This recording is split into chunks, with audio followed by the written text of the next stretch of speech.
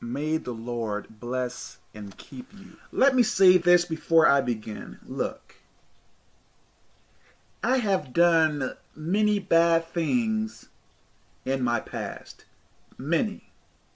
So when I tell you about things or what you need to do to change, listen, I had to do it myself and I still do it.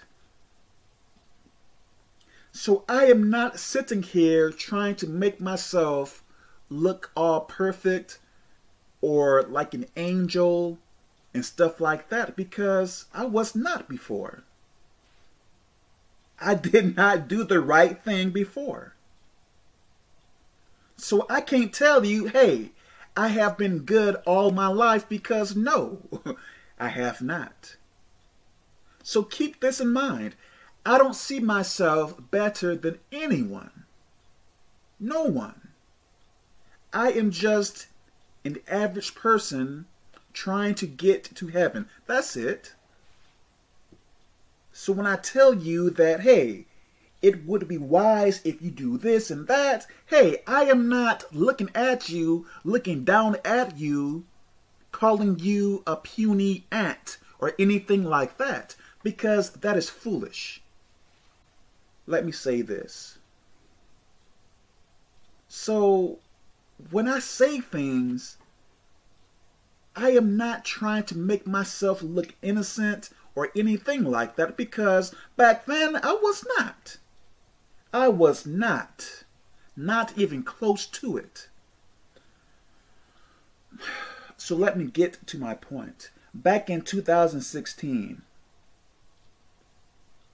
this is a time when I was serving God and everything like that. Back in 2016, someone really did me wrong.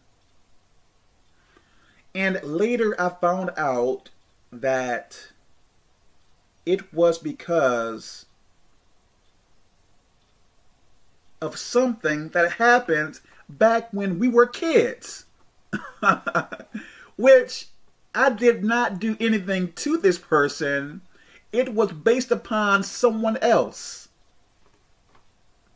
Back in 2016, I was treated wrongly. And the old me, I would seek out for revenge.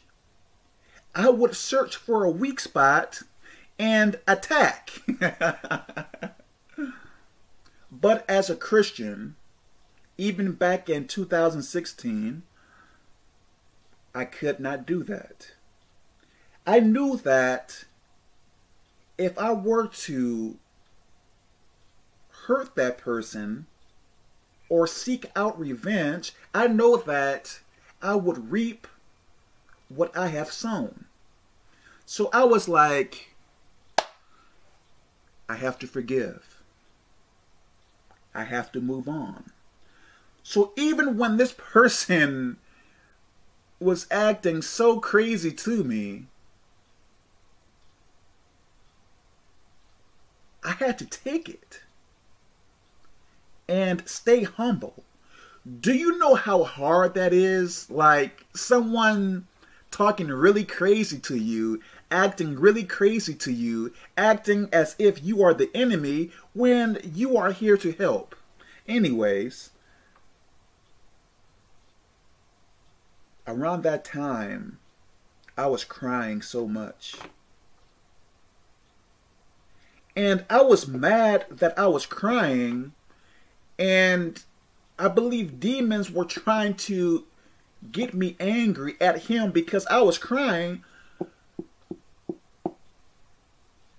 I had to constantly pray so that hatred and bitterness would not take me over. I am serious. I had to continuously pray so that hatred and bitterness would not take me over because this person was acting in a really weird way for absolutely no reason. On top of that, I would help this person. I would help this person so much, but this person was treating me as if I was the enemy. So I was thinking, what am I doing wrong? And I was praying to God, what am I doing wrong? What am I saying wrong? So it got to the point where when he would act a certain way, I had to act like nothing is going on. I just had to take it. And there were other things as well, which I am not going to talk about. And I was asking God, why is this happening to me? Is it because of what I did back when I was younger? Like, am I still getting punished for that? And I am thinking, why is this happening? Like, I changed my life.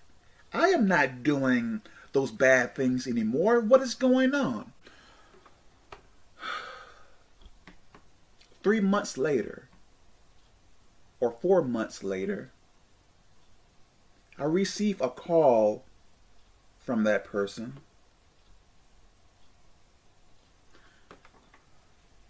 This person apologized to me. And when this person apologized to me, so much anger just came to me and I just wanted to shout at that person.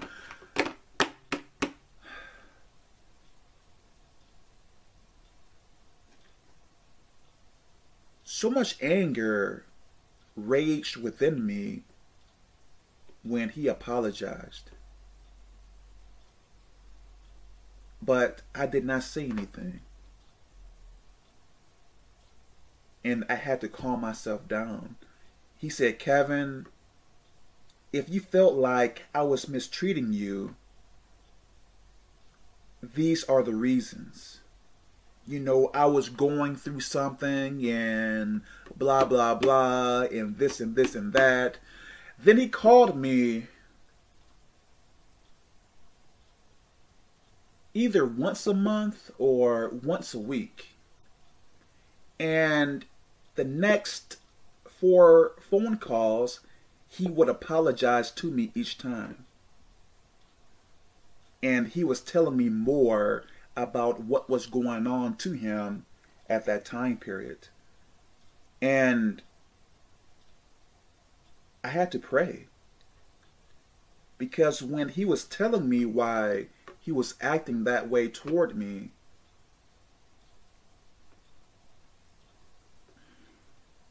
it was really hard to accept. And I don't know what the word is called, but when he was telling me that stuff, like I felt I don't know what to call it, but something within me I can't describe it, but it was like a are you serious feeling, but I could feel that within me which I can't explain it in words, but I had to pray that anger would not take me over. And this person was asking, Hey Kevin, do you want to go out to eat with me? And my first response was like, I wanted to say, Never. Never. Never. But I told myself, Kevin, you need to go out with him. Even though you don't want to, you need to do it anyway. So I went out with him maybe four or five times. Maybe three. Three or four. I forget and um, he was offering me to come over his home and do some things there. What is your point, Kevin? What came to me last night or two nights ago, I forget, you always have to keep the door open. You always have to keep the door open. What do you mean, Kevin? What do you mean by keeping the door open? Listen. As I grow more in God, as I seek God, the more I pray, God is teaching me more about faith, more about love. Yes, faith and love. When it comes down to love, we can't separate from our enemies we always have to keep the door open for them. I am not saying that you have to allow them in your home. I am not saying that you have to give them all your money. I am not saying that. But what I am saying, we have to keep the door open for them. Even if they betray you so many times, we have to keep the door open for them. Of course, it is hard. Believe me, I know. But we have to keep the door open for them. Even when we know that they are going to betray us, we still have to keep the door open anyway. This is love. If you want to operate much more in the power of God, if you really want to get more close to God,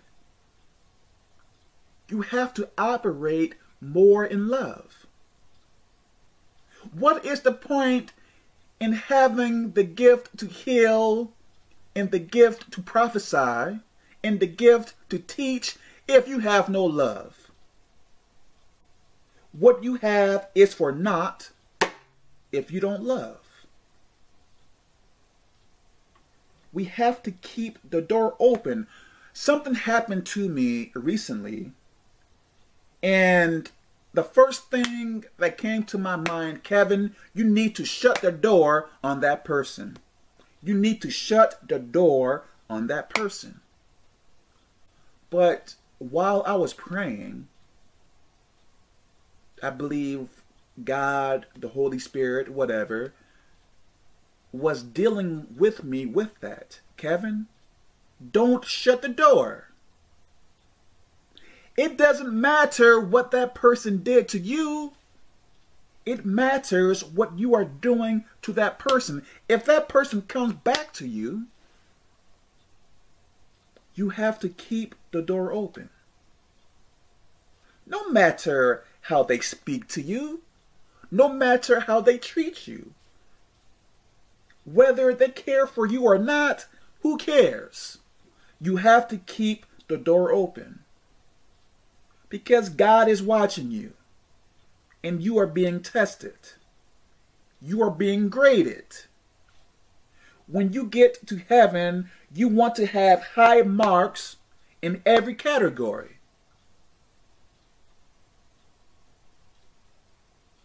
You have to keep the door open. As I stated in another video, God always have the door open for us. All we have to do is repent and he is going to accept us back. Repent and turn from our wicked ways. That's it. He always has the door open for us. It doesn't matter what other people are doing to you. You have to have your arms open to your enemies. Yes, when your arms are open, it is easy for them to stab you. of course, so be it. This is love. This is love. I am not teaching you anything about conditional love. I am teaching unconditional love. Conditional love is not really love. Love without conditions, that is love. well, I am only going to love you as long as you are healthy. Hey, I am only going to love you as long as you are young. Hey, I am only going to love you as long you are able to walk. But hey, if you can't walk, if you get too sick, hey, the love is gone. If the love is gone based upon conditions, then you really did not love that person. I am teaching unconditional love. Whether you are good to me, whether you are bad to me, hey, it is all the same. The door is open. The door is open. When you are that way, I am telling you, God can operate within you so mightily. Love. Love. I pray that this makes sense. God bless you. Make sure you share and subscribe. God bless you.